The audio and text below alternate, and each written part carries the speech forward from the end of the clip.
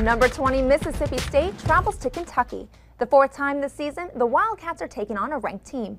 As for the Bulldogs, they can put together a 5-0 start for only the third time in school history.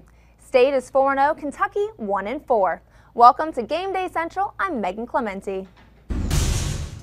The 40th meeting between these two, Mississippi State has won three straight in the series. And the Bulldogs jump on Kentucky early. Tyler Russell hits Adrian Marcus. Pass is caught. Adrian Marcus.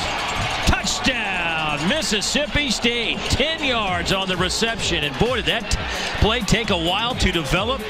But when it did, it was a beauty. And Mississippi State takes a 7-0 lead. Later in the first, LaDarius Perkins shows off his speed, 31 yards for the score. And the Bulldogs roll up a 14-0 lead on Kentucky after the first quarter. But early in the second, Kentucky comes alive behind freshman quarterback Patrick Towles. Towles hits LaRod King 32 yards for the touchdown, and Kentucky cuts it 14-7 in the second.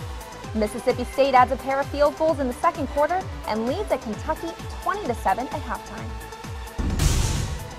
Second half action, and Mississippi State adds to its lead. I think it came before the cut.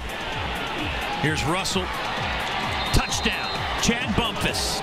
27 yards out. 27-7 Bulldogs. Kentucky makes it interesting later in the third. Jalen Whitlow with a three-yard touchdown run. The Wildcats pulled it within 27-14. But Mississippi State continues its winning ways. The Bulldogs roll to 5-0. They entertain Tennessee next week. Kentucky drops to 1-5. The Wildcats head for Arkansas. Don't miss a play from your favorite team.